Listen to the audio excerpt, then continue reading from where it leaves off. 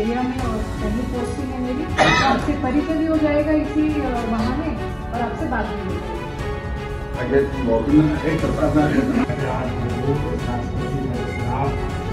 प्रदेश व्यापार मंडल और social association का जो गठन हुआ उसका मैं संस्थापित हूँ और ये बहुत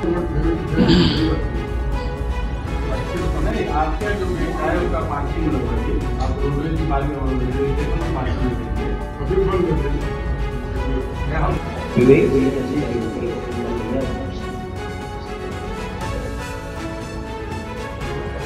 तो बस उनको आप बोल के रखिएगा कि कहीं अपनी गाड़ी ढंग की जगह पार्क कराएँ। ऐसा नहीं है कि वहाँ पर गाड़ियाँ खड़ी हुई हैं और टू व्हीलर्स खड़े हुए हैं और पूरा का पूरा चक्का जाम हो गया। ऐसा बिल्कुल भी नहीं होना चाहिए। सेकेंडली डीजे की बात उन्होंने बता दी है। कोशिश कीजिएगा, थोड़ी भद्र रहे चीज़ें, है ना? ऐसा नहीं होना चाहिए कि बार बार बोलने की आवश्यकता पड़े कि यहाँ मृदंग हो रहा है, यहाँ ऐसे हो रहा है, ऐसा कुछ नहीं होना चाहिए। अगर आपको इशू है, आपको कोई परेशान करता है तो पहले तो मुझे लगता है कि आपके एंड से तैयारी होनी चाहिए। हर एक जो भी जगह है, उनके मैनेजर्स को, उनके ओनर्स को पता होता है हमारे यहाँ कितने लोग आते हैं, कितने की भीड़ अपेक्षित है। उस हिसाब से थोड़ा सा अरेंजमेंट करके रखिए। हमारे एंड से अगर कोई इशू होता है अ, हमारे एंड से अगर आप कोई हेल्प चाहिए तो आप सीधा सीधा पहले तो फैंटम को ही फैंटम क्या है कि भाई टू व्हीलर है तो सबसे पहले उसका रिस्पांस टाइम सबसे कम है। वो फ़ौरन वहाँ पहुँचेंगे।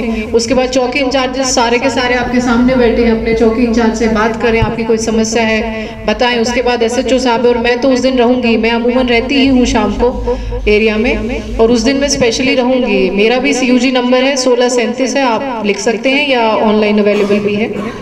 दूसरा, जिन जिन के पास लीकर के लाइसेंसेज हैं, जिस भी तरीके के लाइसेंसेज हैं, अपना हैंडी रखें, किसी भी टाइम वो चेक हो सकता है। ठीक? दूसरी बात, आपके जो सीसीटीवी कैमरास हैं, वो सारे वर्किंग कंडीशन में होने चाहिए। आज प्लीज़ जाके चेक करवा लीजिएगा।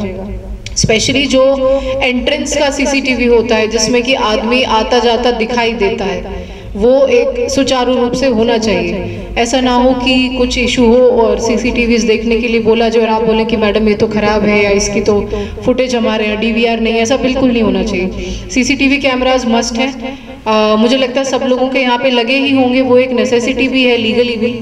सब और बाकी जो आपके अगर रूम लेके लोग आ भी रहे हैं तो जो आईडीज आप ले रहे हैं, उनका थोड़ा सा ध्यान से लीजिए। ऐसा ना हो कि गलत आईडी या धोखाधड़ी वाले मामला, कोई भी इस तरीके का मामला आए। जितने भी विजिटर्स आ रहे हैं, चाहे जैसे अभी एस एच साहब बता रहे थे कि एक एक कमरे में दस दस बारह बारह लोग बैठे रहते हैं। अगर ऐसा होता भी है तो कम से कम आपको खबर होनी चाहिए कौन है। ठीक है, कोई भी इंसान आपकी जगह पर आपके गेस्ट हाउस में होटल में कदम रख रहा है तो आपको उस चीज़ की जानकारी होनी चाहिए।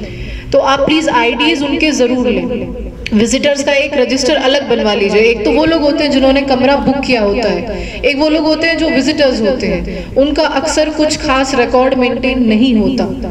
तो प्लीज़ एक आप ये ना एम्बेरसमेंट ना फील करें कि कोई आ रहा है, आप बार बार उनसे आईडी मांग रहे हैं। प्लीज़ लीगल रिक्वायरमेंट हमेशा आपकी सुचारू रूप से होनी चाहिए। ठीक है। मोटे मोटे हमारे यही पॉइंट है पार्किंग का इशू है लीकर का है और सीसीटीवीज का है, आपके रिकॉर्ड मेंटेनिंग का है। और जैसा कि उन्होंने बताया एसएचओ साहब ने कि जहाँ जहाँ पे क्राउड ज़्यादा हो सकता है, पिछले साल के अनुरूप भी आपको एक कंपैरिजन में मोटा मोटी जानकारी होगी। तो फिर अपना एक प्राइवेट सिक्योरिटी बाउंसर भी वहाँ खड़ा करें। बेटर रहेगा। आपका ही फ़ायदा हमसे ज़्यादा होगा, मुझे ऐसा लगता है। आपकी ही जगह है वो। कोई भी इंसिडेंट होता है तो आपका नुकसान ज़्यादा है, पुलिस का नुकसान हमेशा कम रहेगा। आपकी जगह पे मुकदमा होगा और कुछ लीगल कार्रवाई होगी, बिल्कुल भी सभ्य नहीं लगता। ठीक है, बाकी आप लोगों को कोई भी डाउट है, कोई भी पॉइंट है तो आप रेज कर सकते हैं। मेरा बस तीन चार यही पॉइंट है, जो मैं मोटा मुख्य फोकस डालूँगी। एक तो है कि पार्किंग का इशू हो जाता है। बहुत, क्योंकि रोडवेज़ पे मैं खुद देख कर आती हूँ जंक्शन के आसपास एरिया में बिल्कुल भी जगह नहीं है। बहुत सारे लोग जब आते हैं, जब पार्टीज़ होती हैं तो वहीं बाइक खड़ी कर देते हैं, उसके, उससे क्या होता है कि पूरा ट्रैफ़िक रुक जाता है। या फिर क्योंकि उस टाइम लोग थोड़ा बहुत नशे में भी होते हैं पार्टी के टाइम में तो एक्सीडेंट होने की संभावना भी बढ़ जाती है। तो आप अपने से लिख पहले इनके क्या प्रताप होटल में घटना हुई है? एक कमरा लोग बुक करा रहे हैं और उसमें 20 लोग आकर पार्टी कर रहे हैं। दारू पी रहे हैं और फिर बाहर निकलकर रोड पर खड़ा हो रहा है। ट्रैफ़िक समस्या, उसी में झगड़ा हो रहा है और मार हो रही है। तो इधर दो दिन ये नहीं होगा। एक कमरा जिसका होगा कोई मिलने जा रहा तो एक दो लोग मिलने चले जाए, लेकिन उसमें पार्टियाँ नहीं होंगी। ये आप लोग नहीं होना चाहिए। जो भी दिक्कत है, हमारा वहाँ पुलिस के जवान भी रहेंगे, हम लोग मोबाइल में रहेंगे। एक कॉल पर चौकी इंचार्ज पहुँचेंगे, मैं पहुंचूँगा, मामला सॉल्व होगा, लेकिन वहाँ पर आप लोग महिला ज़रूर रखिए। महिला गार्ड मस्ट है। डीजे का प्रयोग टाइम का ध्यान रखिएगा, आप लोग को 10 बजे तक का मिला है। आवाज़ बहुत स्लो होगी और कोई भी अभद्र गाना और अश्लील गाने नहीं बजेंगे। किसी राजनीतिक या किसी धर्म विशेष का कोई भी वाद्य यंत्र नहीं बजेगा, ना कोई नारे लगेंगे। ये ज़िम्मेदारी आयोजक की होगी, जो आयोजन करता है, क्योंकि अगर मुकदमा लिखा जाएगा तो आयोजक पर लिखा जाएगा। तो आयोजक ये ध्यान रखे, जो इसका ऑर्गेनाइज कर रहा है, वो ये ध्यान रखे किस तरह की कोई चीज़ें नहीं होगी। सार्वजनिक जगहों पर कोई भी पार्टी इकतीस या एक की नहीं होगी। दारू या कोई सार्वजनिक स्थान है वहाँ कोई इकट्ठा होकर इस तरह की चीज़ें नहीं होगा।